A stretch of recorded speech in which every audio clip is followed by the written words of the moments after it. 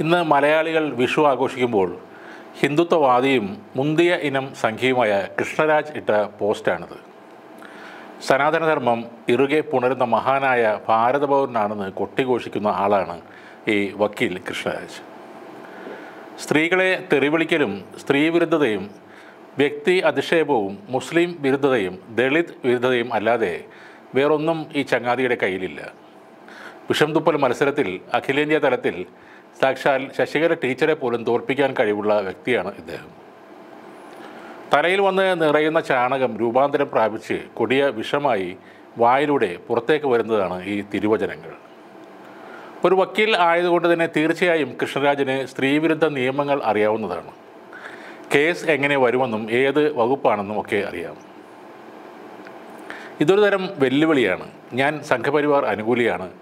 നിങ്ങൾക്ക് ചെയ്യാൻ പറ്റുന്നതൊക്കെ ചെയ്തോളൂ എന്ന് തന്നെയാണ് കൃഷ്ണരാജ് വിളിച്ചു പറയുന്നത്.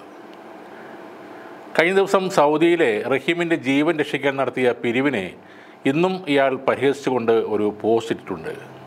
ശരിയാ നിയമം ഇവിടെ വന്നിട്ട് വേണം ദിയ കൊടുത്ത് കുറച്ച് പേരെ ഒന്ന് ഡീൽ ചെയ്യാൻ എന്നാണ് ആ പോസ്റ്റിൽ ഇയാൾ പറയുന്നത്.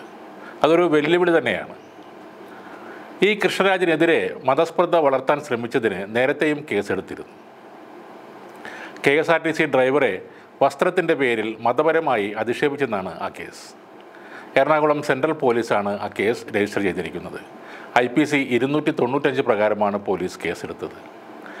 K S R T C ബസ്സിൽ കേരള സർക്കാർ കൊണ്ടോട്ടിയിൽ നിന്നും കാബൂളിലേക്ക് സർവീസ് നടത്തുന്നു എന്നായിരുന്നു കൃഷ്ണരാജിന്റെ പരാമർശം. മാവേലിക്കര യൂണിറ്റിലെ ഡ്രൈവർ പി എച്ച് അഷ്റഫിന്റെ ഫോട്ടോയാണ് ആ വിദ്വേഷ പ്രചരണത്തിനായി കൃഷ്ണരാജ് ഉപയോഗിച്ചത്. K S R T C ഡ്രൈവറുടെ ഇളം നീല ഷർട്ടും കടും നീല പാന്റുമാണ് അഷ്റഫ് അപ്പോൾ ധരിച്ചിരുന്നത്. എന്നാൽ ഫോട്ടോ എഡിറ്റ് ചെയ്ത് ആ ഷർട്ട് വെള്ള നിറം പോലെ ആക്കിയ ശേഷമാണ് വ്യാജ പ്രചരണത്തിന് അഡ്വക്കേറ്റ് കൃഷ്ണരാജ് ഉപയോഗിച്ചത്. കൂടാതെ അനന്തപുരി ഹിന്ദു മഹാസമ്മേളനത്തിൽ മുഹമ്മദ് നബിയെ അധിക്ഷേപിച്ചതിന് കൃഷ്ണരാജിനെതിരെ തിരുവനന്തപുരത്തും പരാതി നൽകിയിട്ടുണ്ട്. അനൂപ് എന്നയാളാണ് ഈ പരാതി നൽകിയത്. ഇപ്പോഴത്തെ ഈ ഫോട്ടോ വിഷയത്തിലും കേസ് വരുമെന്നത് ഉറപ്പാണ്. സംഘപരിവാർ വിരുദ്ധരായ സ്ത്രീകളുടെ ഫോട്ടോ ഇട്ടിട്ട് ക്യാപ്ഷനായി വെടിക്കെട്ടോട് കൂടിയ വിഷു ആശംസകൾ എന്ന് വെച്ചാൽ ആളുകൾക്ക് ആ പരിഹാസം മനസ്സിലാവും. ആ കൂട്ടത്തിലുള്ള സ്ത്രീകളിൽ അഡ്വക്കേറ്റുമുണ്ട്. വേറെ ഏതെങ്കിലും നല്ല വക്കീലിനെ വെച്ച് കേസ് വാദിച്ചില്ലെങ്കിൽ കൃഷ്ണരാജ് വക്കീൽ ചിലപ്പോൾ പെട്ടുപോകാൻ സാധ്യതയുണ്ട്.